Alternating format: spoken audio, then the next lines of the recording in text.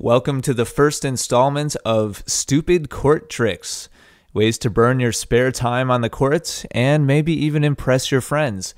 Today, we're going to talk about the frame bounce. The frame bounce is a big step up from just using your strings to bounce the ball either upwards or downwards, and it's a great way to develop your eye hand coordination. You guys will often see tennis pros doing this between points on TV or in person at professional events, and uh, it's it's a fun way to kind of burn time in between points.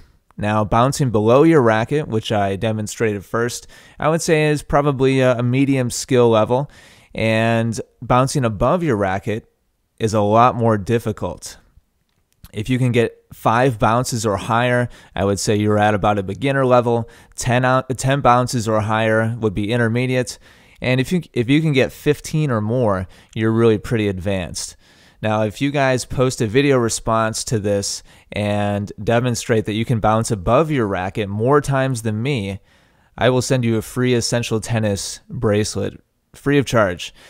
So get out there and give it a shot with your camera. I, I, think my best here was was 17 on top of the racket, and just continue to use your frame. When, when you screw up with the the bounces up above your racket, use your use your frame again to uh, to keep it going below your racket, and just see how many you can get.